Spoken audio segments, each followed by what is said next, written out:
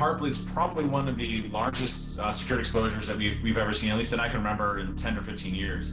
It, it impacts almost, you know, almost all of the internet. David Kennedy, a security researcher and self-described ethical hacker, calls Heartbleed the bug that broke the internet.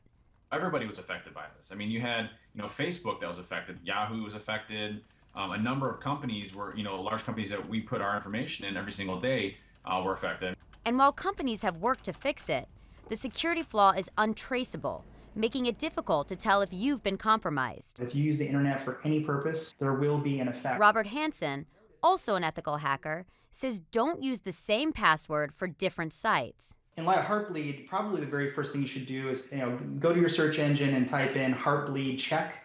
And if you're going to go do business with a website, type in that website's name into, into that form and see whether it is or isn't vulnerable to Heartbleed. So, how do hackers keep themselves safe?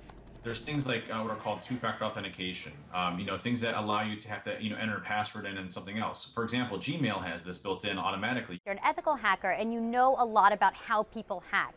So take me through your browsing history. When you go to Facebook, when you go to Twitter, when you check your email. I don't actually know any of my passwords inside of my head. I only know one password. My passwords are literally you know anywhere between 32 and 50 characters long and they're completely unique um, where, to where you know you're never going to be able to guess those kennedy keeps his passwords stored in something called a password vault programs like keepass and 1pass for mac are built for this passwords themselves are you know, pretty much a, a, legacy or an old type of way of thinking. Uh, we need to move to other technologies, like you know, for example, biometric is a great one. It's, it's definitely possible for a technology perspective to say, you know, hey, I want to log into Gmail. Swipe your finger, verifies who you are, and all of a sudden now you're logged into Gmail, and not have to remember passwords, and it's tied to this. The iPhone 5S and the Galaxy S5 now have fingerprint scanners, but both systems have been beaten by hackers.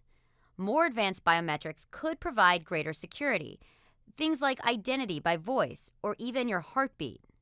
For now, the internet remains vulnerable, and the ones who know it best take extreme precautions. I'm always in private mode, which means every time I close my cache, uh, close my browser, the cache and cookies are removed. Um, all ads are removed.